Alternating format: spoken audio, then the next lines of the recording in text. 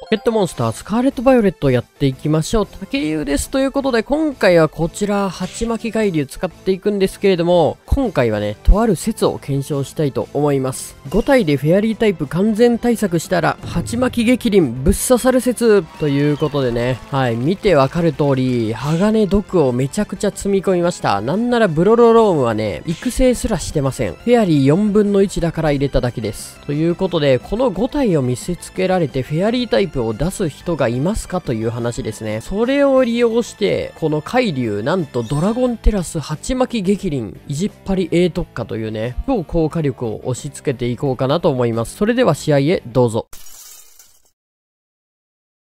さて、それではね、やっていきましょうか。基本的にはキラフロルでステロ巻いてからね、海流展開しようかなと思っております。それではやっていきましょう。ドリームさん、対戦よろしくお願いいたします。ということでやっていくんですけれども、さあ、このパーティーを見てね、相手が羽ばたく髪を出せるかどうかっていう話なんですよね。さて、お相手、小手は強ジオンから入ってきまして、さあ、まずはね、キラフロル。展開していきました。とりあえず別にステロでいいかなーって感じですね。ステロ打っていきましょう。さあ、オッケーオッケーオッケー。まずステロを打っていきまして、なんか最近初手巨ジオン多い気がするんですが、気のせいでしょうかね。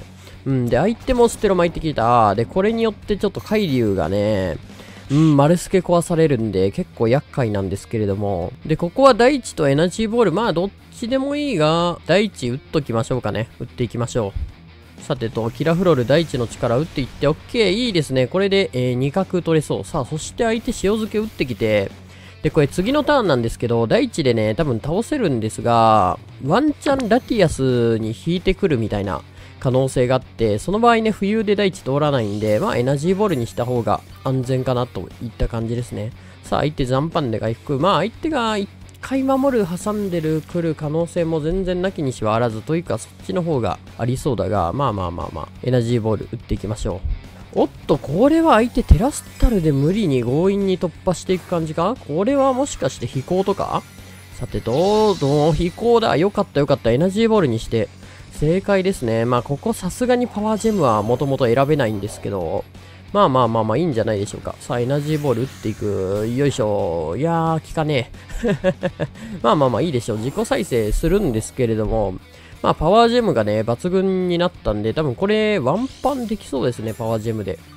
さてと、回復。いや、ワンパンは無理か。ちょっと残るな。まあまあまあまあ、パワージェム打っていきますか。さあ、塩漬けが地味に痛いが、まあここはね、仕方ないところじゃないでしょうか。パワージェム打っていきます。さあ、パワージェムっていって、で、これ相手どうだろう?海流裏と、あー、オッケー倒した。海流裏通すっていう戦略だったとしたら、キラースピンとか入れて、うーんの、相手の起点回避するみたいな方がいいのかな完全に起点に振る形で。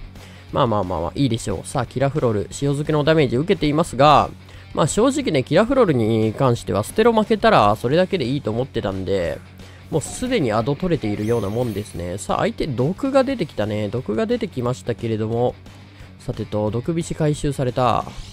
うん、まあまあまあ、いいでしょう。ステロあるんでね。さあ、そして相手はクォークチャージだな。これは多分相手に上から攻撃されて終わるんですが、まあ、ワンチャン大地入れば嬉しいなって感じですね。さあ、エナジーボール打ってきた。さあ、相手のエナジーボールで、おっ、耐えたー キラフロル強。なんで？あれ？海流通す作戦なはずが、なぜか起点作戦のキラフロールだけでめちゃくちゃ勝っているというね。さあ、塩漬けで倒,、えー、倒れましたけれども、謎、謎にキラフロールがめちゃくちゃ活躍した。さあ、そしたら、じゃあ最後、海流、鉢巻き激鱗で決めていきますか。ラスト1体なんですけど、えー、羽ばたく髪いるやないかーい。5体でフェアリータイプ完全対策したら、鉢巻き激鱗ぶっ刺さる説。このパーティーを見てね、相手が羽ばたく髪を出せるかどうかっていう話なんですよね。はい、えー、皆さん、説失敗です。なんでやねん。えー、まさかのね、説失敗ということでいやいやいやいやいやいやいやいやいや。初手からなんかめちゃくちゃ意味不明なことになってますけれどもね。さあ相手のムーンフォースで余裕でやられていきますが、まあけど逆に言うとこれ羽ばたく神出てきたはいいものの、あれなんですよね。結局、羽ばかみ対策できる他のポケモンがうじゃうじゃいるんで、海流が活躍しなかったとしても、まあ自箱でね、余裕で止まってくれると思います。ブエナ型じゃないからメガネだと思うから、まあそのままラスターカノンでいきますか。おー、痛み分け、そういう方ね。なるほど。痛み分けのタイプでした。ちょっとこれはめんどくさそうだぞ。さあ、しかし、ラスターカノン打っていって、さあ、相手助きですね。ふんふんふんふんふん。まあけど、これ相手が痛み分けしてきたとしても次のラスターカノンで倒せるんで、問題なしと。さあ、相手シャドーボール打ってくるが、まあ、シャドーボーぐらいはね、直帰持ってるし、全然耐えますよと。オッケー。そして、ラスターカノンでとどめということで、えー、1戦目から大荒れしましたね。大荒れしちゃった。キラフロールで2体倒して、海流ワンパンされるっていうね、幅紙出てくるんかいということが。まさすがにこれ2戦目行きましょう。対戦ありがとうございました。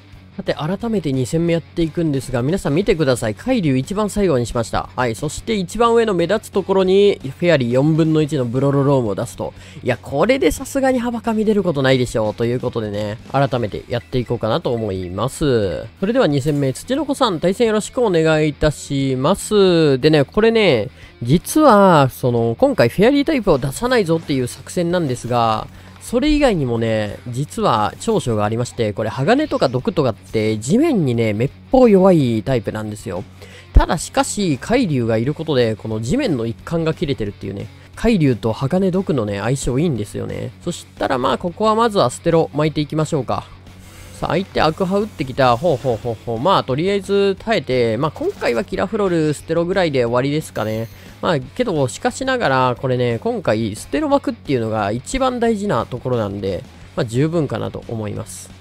さあ、そして相手アクハ打ってきて、うーん、これいいよいいか。タスキじゃないよな。タスキだったらちょっと積むんだけど、さすがに違うと思うんで、さあ、海流出していきましょうか。さあ、ここからもうテラスします。ステロ巻いても、あとは海流で、シャキーン。ドラゴンテラス、激輪。これで3体倒します。さあ、おっと、これ EU 引っ込めてきた。もうこれ幅紙いない体でね、やってるんでね。さあ、鉄のカイナ、オッケーオッケーオッケー、幅紙じゃない。さあ、鉄のカイナ出てきまして、まあ、ステロのダメージが入っていくんですけれども、シャキーンとさあ、ここでテラスタルかましていきましょうと。よいしょ。さあ、ドラゴンなんでね、なかなかね、フェアリーがいないと止まりませんよ。さて、やっちゃいましょうか。えー、海流のね、鉢巻きドラゴンテラス、激輪。もう、誰でもできますから、これね。もう、これが、もし、この説がね、立証するようなら、さあ、鉄の回はワンワンパンしていく。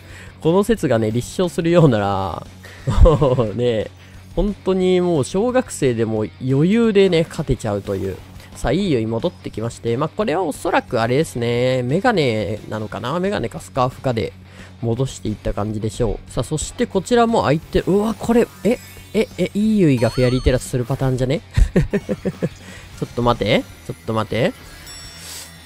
そのパターンは聞いてない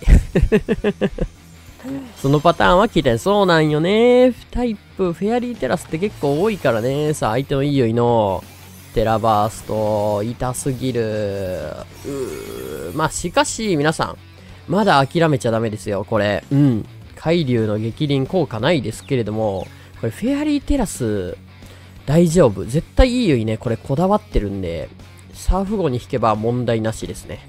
さあ、海流戻していって、で、これフェアリーになったところで、まあ、こちら、アイヘもね、一応あるんで、まあ、けど、アイヘあるとはいえ、相手にね、上から取られるから、あんまり良くないんだけれども。さあ、相手のいいよいこだわってますが、とりあえずね、サーフ後で受けていきましょう。よいしょ。オッケー。結局この海流サーフ号のね、並びがめちゃくちゃ強いっていう。で、ここ入ってさすがに引っ込めてくるんだよなで、あと一体何が置いてあるかなんですけど、幅紙はまずなくて、で、カバはね、最初に出すはずなんで、ハッサムかラッティなんですけど、いやー、これはね、ちょっと交換読みでシャドウを打ちます。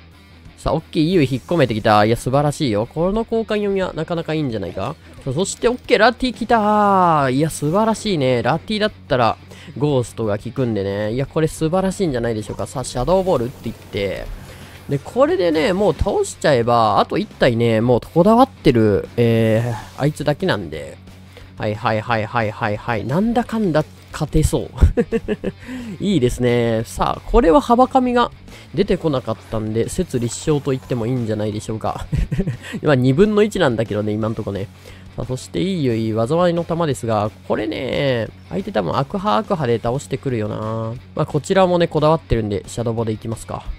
で、これ、いいゆいがスカーフかメガネかっていうとこなんですけど、あの火力だとね、どうだろう。メガネかなだったらサーフ号上取れるんだが、さあ、相手結構長考してますね。これ、悪派打つか、どうしようかみたいな感じでしょうね。さあ、おっと、これは相手が悪派打ってきたら、これスカーフか？オッケーオッケーオッケーオッケー。さあ、そして、サーフ号倒されるんですけれども、残りね、こちら、海流やっていきましょうか。よっこいしょ。で、これ海流なんですけど、これね、新速でいいな。うん。これ、いいゆいに上取られてるんで、新速、結局ね、鉢巻き激輪通らないんですけど、鉢巻き新速も全然強いっていうね。さあ、打っていきましょう。よっこいしょ。さあ、ということで、いいゆい突破していきまして、ちょっとフェアリーテイラスがね、出て、焦ったんですが、なんだかんだ、結構このパーティー強いぞ。いやー、対戦ありがとうございました。はい、ということで今回はね、このパーティーで、フェアリータイプ出ない説、激輪、鉢巻き激輪通る説をやっていったんですが、あの後ね、数戦潜ってみましたが、しっかりね、フェアリータイプ出てきませんでした。ということで、まさかの1戦目だけね、謎に幅み出てきたんですけど、やっぱ海流一番上に置いてたのが良くなかったのかな？鉢巻き激輪ドラゴンテラスっていうのがね、めちゃくちゃ強くて、すんごい楽しいです。結構ね、このパーティーおすすめなんでね、皆さんもぜひやってみてください。ご視聴ありがとうございました。